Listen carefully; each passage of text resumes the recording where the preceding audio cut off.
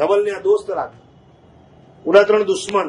ચલો get out from યાર ઓફિસમાંથી ત્રણે રવાના હવે બે જણા બેઠા છે. ધવલ અને ઓલો લવાડ અંદર ને અંદર મસરત કરી નાખી. પ્લાન બના દિયા. વહાણ તો બરાબર આગળ વધી રહ્યા છે. અને ધવલ બહાર આવ્યો. હસતો ખીલતો શ્રીપાળને જોવા માટે કેમ? ઘણા દિવસથી હમણાં તમને જોયા નથી. શું છે? શું આખો દાડો નાટક નાટક જોયા કરો છો? કોક દાડો તો અમારી સાથે બેસો. બોલો બોલો, શું વાત છે? શેઠિયા, આજે અમને, અમારી તમને યાદ આવી ગઈ? બસ બસ, આપણે જરાક આ દરિયાને તો જોવા જઈએ.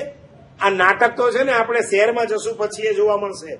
આ દરિયા, આ દરિયાના મોજા, આ બધું ક્યાં જોવા મળશે? ચલો ત્યારે. અને બે જણા તૂતક ઉપર ઊભા છે.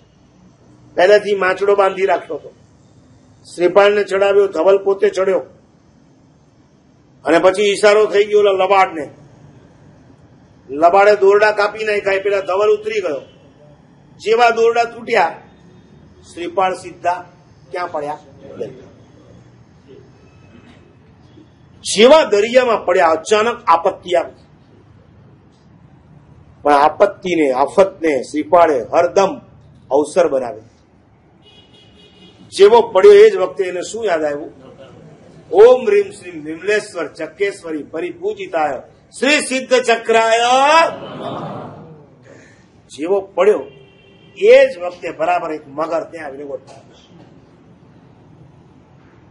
એક ક્રુઝમાંથી બીજા ક્રુઝમાં. મગર બી ગજબનો એના પર જેવો બેઠો મગર પણ એકદમ બરાબર ફિટ થઈ ગયો અને સડસડાટ કિનારા તરફ દોડવા માંડ્યો.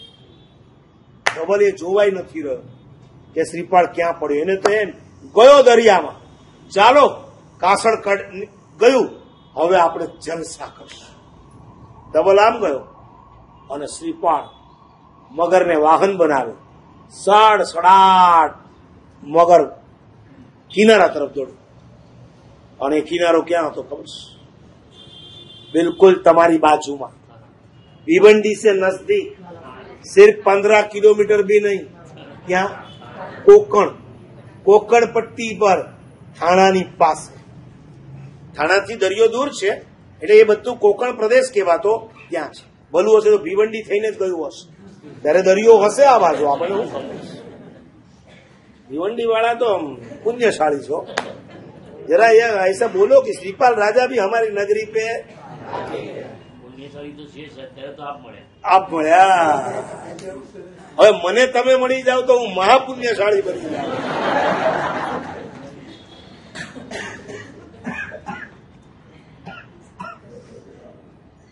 મગરે દરિયા કિનારે શ્રીપાળને ઉતારી દીધો. શ્રીપાળ ચાલતા ચાલતા ચાલતા જંગલમાં થાકી ગયો છે. ભૂખ તરસ, ગાઢ જંગલ, ચારે બાજુ સરસ મજાના ફળ, એને ફળ ખાધા, પાણી પીધું.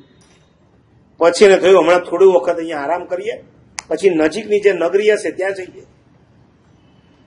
આ ભાઈને તો ફરવું જ છે. જલમાંથી સ્થળમાં ને સ્થળમાંથી જલમાં. સુઈ ગયો. અને એ વખતે થાણાનો રાજા હતો વસુપા એને એ જ સમયમાં એક રાજાને જ્યોતિષીને બોલાવ્યો. બહુ મોટો જ્યોતિષ. બહુ તગડો, તગડી ફી હતી એની, તગડી.